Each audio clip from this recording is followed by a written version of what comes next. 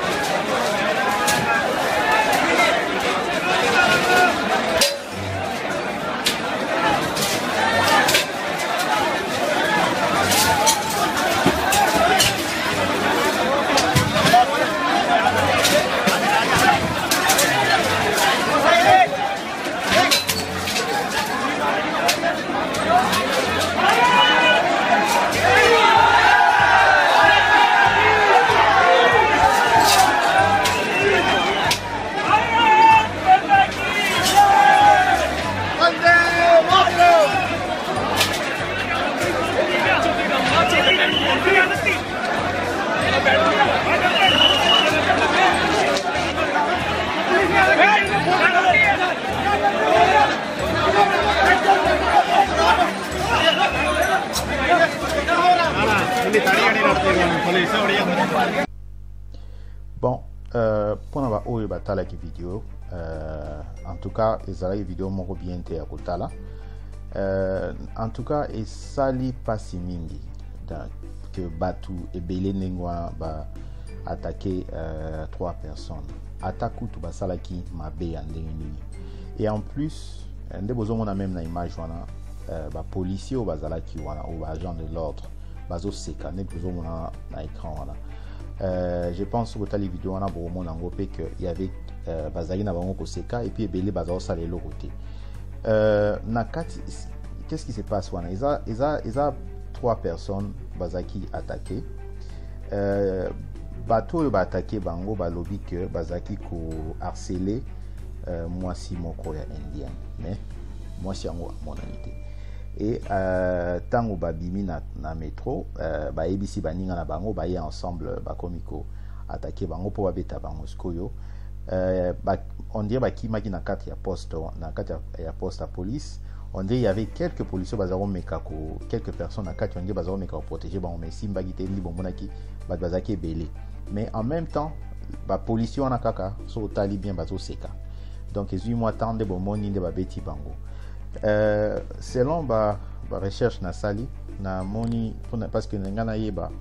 qu'est-ce qui s'est euh, réellement passé na moni que euh, eza na bazwi mpe version ya version ya bana ya bato babetaki baetudiant babetaki baetudiant oyo balobi bazalaki na feti moko bazalaki na feti na new delhi mais bango bavanda na new delhi te bavanda na 40, euh, 40 minutes ya new delhi donc fete esilaki na, na, na, na retard baprefere balala na new delhi sikoyo euh, jour oyo babetaki bango bakitaki ba, ba new delhi na, na vers ba 17 heures mpo bazwa metro mpo bakende esika bango bavandaka mais ntango bakomai na kati ya metro balobi ke baindien quelques personnes baza kokanga bango bafoto baosala bango bagrimace ondire eza balobi ke bamesana kosala baafricain ndenge wana kosala bango bageste lokola ba, ba baza loba baa banyama na zo babilo mwa ndenge wana epesaki bango kanda ntango epesi bango kanda barépondre bango na, na monoko na bango ya baindien ale esalaki mwa échange ya baparole ntango babimi ale libanda bayoka kaka ke bato ebele bango molanda bango balobi ke non eh, bawakize bango ke baviolaki ba, ba eh, mwasi moko ya ba, donc viole te boeskize nga bazalaki koharcele eh, eh, fille moko ya, ya mwasi moko donc nazwa sime ete mwasi yango aza indienne euh, toloba boye ngai nakopesa opinion na ngai eza e, elobi teke eza opinion na ngai nde ezali euh, eza vrai eza verité ou bien euh, makambo ngai nazwa parce que ngai naza te nazali kuna te euh, mais boyebi bino moko expérience toza nango avec bindien makambo oyo tozoka oyo toyoka yango mpe bacongolais babetaki ntango nasir ezalaki année passé ou bien na 2012 ntango bakongole moko bazali baatake bayaki toujours na baexcuse ya boye ezalaka toujours groupe ya baindien ebele baatake bato euh, et puis il y a une autre chose eza que baindien baza connu kozala très raciste eyebani pour moi mpo na ngai tout d'abord asie eza na bato baza les plus raciste na, na monde nayebi ke racisme eza partout mais biso baafricain toza na problème wana mais eza na barace mosusu oyo racisme eza lokola eza ti na ame na bango donc mpo euh, na kozala trop émotionnel te na video oyo en tout cas nakoloba boye bagarçon ba oyo bakutanaki na oyo tobengaka lumbelumbe na lingala eh, lumbelumbe ekutani na bango na metro metro yango komona yango soki rajiv rajiv choc na choc nayebi te so nazoprononce yango bien eza na new delhi euh, ba accuser bango que ba harcelaki mwasi mais bizarrement journal moko times of india ekomi elobi que mwasi yango oyo ba harcelaki amonana te aporta plainte te donc soki mwasi ba harcele oyo ba harcelaki amonani te eza déjà un peu bizarre euh, mais tokotelemela yango makasi te bino moko boza bato bo juge mais eloko moko na koyebisa toujours ba frères africains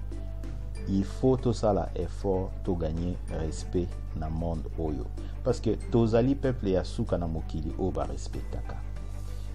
biso moko tozo se respecter te biso moko tolingani te bato misusu bakolinga biso te bato misusu bakorespecte biso te toko tokovanda mingi te na kobanda kokondanaka kokondanaka kokondanaka il faut tosala effort mpo toganye respect wana na kosenga mpe na baautorité na biso bolandela makambo oti na suka nayebi ke bagabonais bayokaka lingala te mais en tant qu'africain soki eza na bato baza na mwa pouvoir oyo bakoyoka parce que video eza mpona bacommunauté na biso congolaise en tout cas euh, baautorité na biso bosala quelque chose soki ba biloko ya boye ezolekana na bamboka lokola ba inde biso mpe na bacongolais toza na bandeko na biso bazotanga kuna en tout cas tozalaka ekenge baimage oyo elakisi nyonso ngai nakoloba mingi te euh, nakokata video oyo awa en tout cas euh, nabanzaki kutu teke nakokosala su video moko na bajour oyo parce que nakanisaki euh, euh, ba, ba, ya, na, e, e, eza lokola naosalaka bavideo ya mabe mais eza na biloko mosusu ifo tosala tolakisaka bato na okata video oyo awa en tout cas euh, tomonana na, na, na, na video mosusu ekoya moto na moto abenda filme ndenge na ye soki bokomante se makambo bokomante ezalaki de la nation au revoir bye